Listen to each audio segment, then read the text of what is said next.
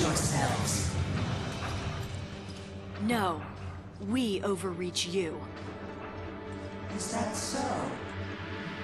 You don't believe in anything.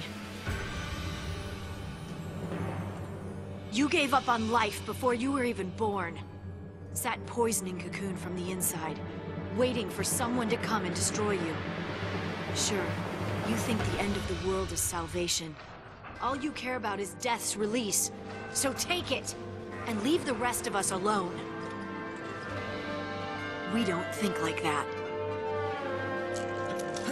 When we think there's no hope left, we keep looking until we find some. Maybe Cocoon is past saving, but it's our home, and we'll protect it or die trying! We live to make the impossible possible! That is our focus!